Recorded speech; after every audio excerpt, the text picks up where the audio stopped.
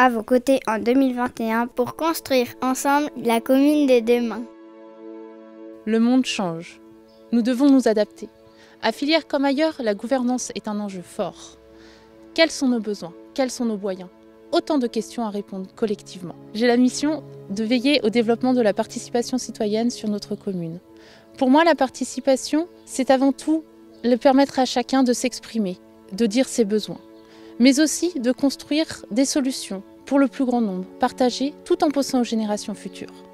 Au cours du précédent mandat, plusieurs expériences de participation ont été menées. Notamment, en 2019, le Conseil citoyen a été créé.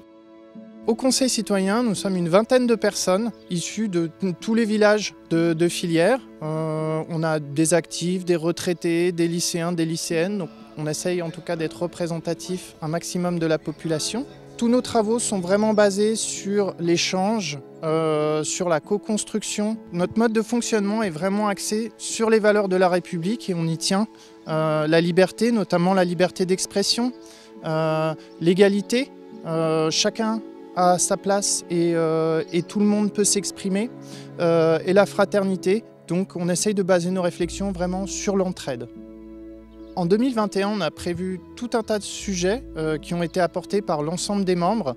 ça passe des chemins et sentiers de randonnée, par l'intergénérationnalité, par la promotion des acteurs associatifs, euh, ou le fauchage raisonné. Donc tous ces sujets ont été amenés directement par les membres euh, du Conseil parce que tout simplement ils nous tiennent à cœur. Ce qu'on souhaite aujourd'hui c'est se développer, grandir, se faire connaître et, euh, donc n'hésitez pas à nous, à nous rejoindre.